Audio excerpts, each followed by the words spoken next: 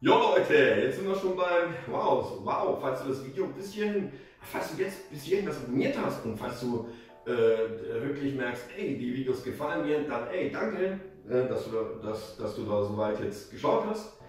Ähm, auch viel Sarkasmus und Kritik, in, äh, wenn ich so viele Sarkasmus anwende und Kabarett ein bisschen und ein bisschen noch boshaftig äh, die Leute triggere, ist es schon mal schön, dass du hier bist. Also SGB 1, Paragraph 4, das, da, das ist, äh, da fängt es jetzt richtig an, jetzt kommen wir im richtigen Pfad, und zwar Sozialversicherung.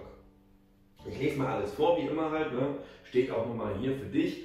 Ganz wichtig, ganz, ganz wichtig, ich arbeite mit der Software oder mit der Webseite, das heißt der Software LX-Gesetze. Das ist neu, hier gibt es auch eine Webseite, es gibt auch diese Verknüpfung auf äh, wie eine App ist das und ich bin da auch registriert.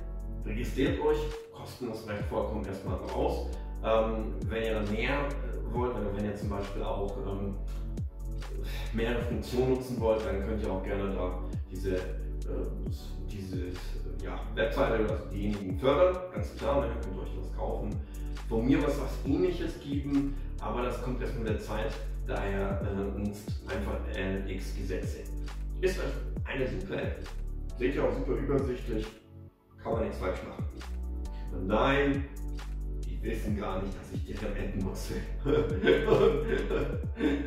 und kostenlos für die eintrete und positiv über diese äh, Software und, und das, was da Webseite auch sich nennt, über die Webseite, Spaß, Spaß beiseite, über die Webseite zur Verfügung stelle. Also das nutze. Okay, los geht's. SGB 1. Paragraph 4. Sozialversicherung. Absatz 1. Jeder hat im Rahmen dieses Gesetzbuchs ein Recht auf Zugang zur Sozialversicherung. Punkt. Absatz 2. Wer in der Sozialversicherung versichert ist, hat im Rahmen der gesetzlichen Kranken-, Pflege-, Unfall- und Rentenversicherung einschließlich der Alterssicherung der Landwirte ein Recht auf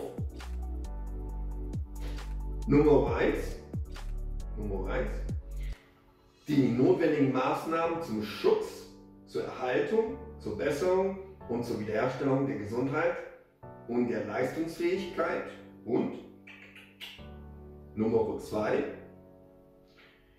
Wirtschaftliche Sicherung bei Krankheit, Mutterschaft, Minderung der Erwerbsfähigkeit und Alter. Ein Recht auf wirtschaftliche Sicherung haben auch die Hinterbliebenen eines Versicherten. Das war es erstmal. Das ist jetzt nur mal so, haben wir es mal langsam gelesen und uns ein bisschen so, hm, hm, hm, was wird damit jetzt wieder gemeint? So, hier nach Paragraph 4 Absatz 1 hängt sich niemand.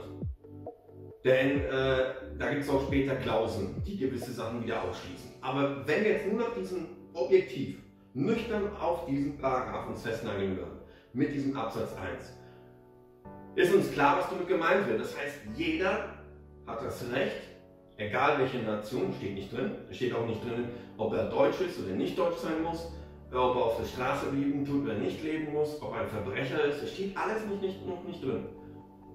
Auf dieses Geld, auf diese Sozialversicherung. Ja, diese Hilfe Sozialversicherung. Und dann in Absatz 2 wird folgendes gemacht, es wird schon ein bisschen sortiert. Ne? Es wird schon ein bisschen auch ähm, äh, naja, nicht sortiert, es wird halt gesagt, was. Und dann in Absatz 2 wird Folgendes gesagt. Dass die Person in diesem Rahmen Krankenkassen, Pflege, Unfall und Rentenversicherung einschließlich der Alterssicherung der andere ein Recht auf. Also wer versichert ist, hat im Rahmen der gesetzlichen Krankenpflege- und Unfallrentenversicherung einschließlich der Alterssicherung der Landwirte ein Recht auf. Ein Recht auf, das heißt, es wird erstmal gesagt, das und das und das, das und das und das hat man in diesem, hast du in diesem Rahmen. Und dann wird aufgelistet, erstens die notwendigen Maßnahmen zum Schutz, zur Erhaltung, zur Besserung und zur Wiederherstellung der Gesundheit und der Leistungsfähigkeit. Ist ein bisschen sehr komplex gemacht, weil das immer ohne ein Komma ist. Letztendlich wird damit gemeint, du bist bei einer Sozialversicherung, wie bei allen die zwei, und du bist natürlich versichert nicht nur sozial, sondern deine Krankenkasse ist auch mit dabei. Das ist wichtig. Weil bei einer Sozialversicherung, das bedeutet das. Das bedeutet, wir fangen dich auf. Lieber Kunde oder lieber, lieber, lieber jetzt äh, Leistungsnehmer, ne? die Leistungs, äh, der Leistungsträger, nee, Leistungsnehmer, der die eher nimmt. Ähm, oder sagen wir es lieber Schuster. Ne? Machen wir es noch einfacher, wir berechnen es immer ganz da unten. Äh, du bist versichert, du hast von uns Hilfe, du hast eine Sicherung, das heißt, du bist pflegeversichert, du bist äh, krankenversichert. Ähm, zusätzlich haben wir eine Unfallversicherung, eine kleine Rentenversicherung mit dabei. Ne? Also sicher ist sicher, ne? weil vor allem halt ne, die Rente bringt euch aber nichts. Ne? Das ist Quatsch, weil von dem Geld werdet ihr nicht leben. Aber diese kleine Absicherung, was in anderen Ländern gar nicht ist, ist in Deutschland wirklich, da muss man sagen, das ist schon ziemlich äh, krass sozial. Ähm, und da sind die Sachen abgesichert. Ne? Das heißt, wenn du dann, sagen wir mal, man hat, man ist krank, man hat Grippe oder man, man kriegt die, was weiß ich, die, die Masern, whatever, und man geht zum Arzt. Ohne eine Sozial, also ohne diese Sozialversicherung, ohne der, das, was die Sozialversicherung beinhaltet, bist du aufgeschmissen. Der Arzt sagt, sorry, nee, du bist nicht versichert, wirklich ins Knie, Motherfucker, Kind, stirb. Das sagt der Arzt. Und das ist auch in Amerika nicht anders. Und auf der ganzen Welt ist das so. Ist ja logisch, oder? Wenn man darüber nachdenkt, der ist, hat eine Arbeit, der macht das nicht, hm, ich liebe so Arzt, hm, ich bin so für die Menschen helfen. Ja, es gibt einige, die machen sind so, aber die meisten, hm, ich will doch lieber Geld. Ne? Klar, hat studiert, jahrelang studiert, vielleicht sogar kein BAföG bekommen, vielleicht hat er dafür so geschuftet und so. Das ist nicht so einfach, wie man denkt. Es ist viel weiter, das, das, das Blickfeld. So, und dann natürlich sagt sich das SGB, hey, wir sind dafür da, damit wir die, äh, die, dich erstmal schützen, ne? Schutz, Schutz, das Schutz. Hey, du hast einen Unfall, du hast Grippe, du kannst zum Arzt gehen. Das ist der Schutz. Du kannst zum Arzt gehen und die Kranken, diese Sozialversicherung, die Krankenkasse ist abgedeckt, du zeigst die Karte, die scannen das, ah okay, sehen das, der ist abgesichert. Ne? Dann, ähm, na klar, Erhaltung, ne? zur Erhaltung, zur Besserung, die Erhaltung, deine Erhaltung, dein Leben muss erhalten bleiben, ne? das Leben, das Men die, Men die Menschenwürde, ne? bla bla bla. Brauchen wir jetzt nicht nochmal auszuweiten, ne? aber es gibt Grundgesetz, könnt ihr euch lesen. Ähm, werden wir auch durchnehmen übrigens dann. Zur Besserung und zur Wiederherstellung der Gesundheit. Ganz klar, das SGB sagt sich, hey, wir fangen dich auf, wir schauen, dass du dich besserst, wir schauen, dass, äh, dass es dir so gut geht, dass du wegkommst von der Sozialversicherung, dass du das nicht brauchst, die Sicherung, okay? Und Leistungsfähigkeit. Ne? Wir sorgen dafür, dass du wieder deine Leistung bringen kannst, deine körperliche, deine mentale Leistung, um das, ähm, ähm, ja, um dann halt eben vom Staat kein Geld mehr zu bekommen, okay? Dann sagt natürlich sich Nummer zwei, wirtschaftliche Sicherung bei Krankheit. Da wirtschaftlich heißt ganz klar, ähm, du hast ja kein Geld ohne Sozialversicherung. Wenn du gar nicht versichert bist, musst du betteln gehen. Ähm, also bist du letztendlich nicht abgesichert. Und das kostet ja alles Geld. Wirtschaft ist ein blödes Wort dafür genommen. Ne? Ja, aber ich verstehe es irgendwo. Beamtensprache, sie müssen es ja hinlegen haben. Aber damit wird eher gemeint, wirtschaftliche Sicherung bei Krankheit, dass du ähm, geldmäßig gesichert bist. Und du kriegst ja Sozial, diese Sozialversicherung, das ist ja Geld, was du bekommst. Und du gehst, du kriegst einen kleinen äh, Beitrag und du kannst ja die Medikamente auch zum Beispiel kaufen. Ne? Weil die kosten ja auch Geld. Die, kosten, die kriegst du ja nicht für, für, für 0 Euro. Ne? Sein der Arzt macht so. Ne? Wir Polen machen immer so gerne. Ne? Polska nie będzie. Aber der ist, der, es gibt solche Ärzte nicht. Und für mich ein Arzt, ich glaube, würde es nicht machen. Vielleicht, ich weiß nicht. Aber ey, ne? der macht es halt, ne? Der muss ja halt, ne, zack, 5 Euro, 5 Euro, und das der kostet 5 Euro und dann gehst du halt hin. Und die 5 Euro muss er zahlen. Irgendwann muss ja wirtschaftlich man was Geld nehmen.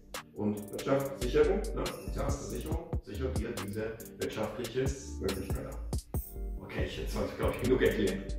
So, Mutterschaft, Minderung der Erwerbsfähigkeit und Alter. Also, ganz klar, Mutter, der Mann hat die Frau verlassen, sie ist Mutter, die Frau hatte keinen Job. Der Mann sagt, ich scheiße auf dich, Bitch, ich zahle dir keine Alimente, ist mir doch scheißegal. Und dann sagt der Staat, halt, das holen wir uns so von dem Arsch, aber bevor, stellen Sie sofort einen Antrag, wir sichern Sie ab, Frau Meier. Sofort machen wir das.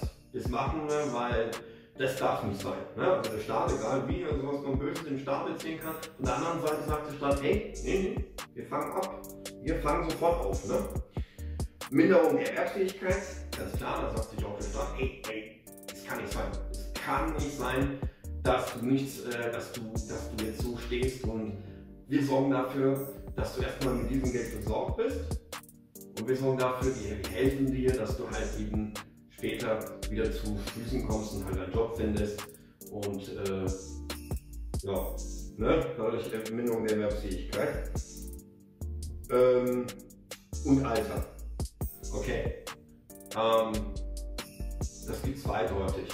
Das eine, das eine heißt, wir sorgen dafür, dass du in deinem Alter noch was bekommst. Oder wir sorgen dafür, dass du in deinem Alter, wenn man schon zu alt ist, dass du äh, normal leben kannst, sodass du nicht auf der Straße landen musst, ne? dass du einfach abgesichert bist. So, ein Recht auf wirtschaftliche Sicherung haben auch die Hinterbliebenen eines Versicherten. Der letzte Satz sagt klipp und klar, dass die Leute, die in der Familie sind, nehmen wir mal an, es ist was ganz Schlimmes passiert. Als Beispiel, du bist arbeitssuchend geworden oder du bist so Sozialfall geworden. Äh, ist ja auch nicht schlimm, das ist das, ist das Leben. Ne? Dann ähm, siehst du deine Leute, auch deine Familie sind Sozialfall geworden. Ne? Vielleicht ist dein im Rollstuhl oder vielleicht kann er das nicht, vielleicht ist er behindert worden, whatever. Es gibt verschiedene Gründe, die wir jetzt nicht ausweiten werden, ne? sonst wird das wieder tausend Jahre lang sein. Aber dann sagt sich der Staat, okay, da schauen wir nach, überprüfen und wenn das stimmt, dann helfen wir. Okay? So, das war's erst einmal. Also, ganz wichtig, ich erkläre mehrere, mehrere Male euch das. Ich mache mehrere Beispiele. Ähm, weil es wichtig ist, dass ihr so einen Kontext bekommt. Der Kontext ist A und O. Ja, das wird halt meistens in den, in den Schulen das halt nicht so hardcore erklärt und nur blatt erklärt, weil mit Absicht will man nicht, dass die Menschen Mitgefühl haben und Nächstenliebe. Das ist wiederum, warum das so ist, weiß ich auch, aber das würde wieder den Rahmen dieses Videos sprengen. Abonniert einfach meinen Kanal, man lernt ein bisschen. Es werden auch mehrere Sachen folgen, nicht nur das SGB. Ich werde versuchen, in den nächsten Wochen BGB, HGB, GUGIB, GALAB, alles reinzumachen. Ich kenne die Gesetze, ich habe das halt gelernt. Ähm, ähm, bin aber halt, wie nennt man das, ein Freidenker, ein Super Edition-Typ und halt nicht geliebt von vielen, weil ich halt da knallhart da durchgreife. Ne? Gerechtigkeit. Und Gerechtigkeit zwar in Deutschland kannst du knicken. In Gerechtigkeit in Deutschland in Wirklichkeit kannst du kicken. Ne? Gut. Das war wiederum eine, wieder eine andere lange Geschichte, denn da dieser Satz stimmt auch nicht, denn das ist komplex.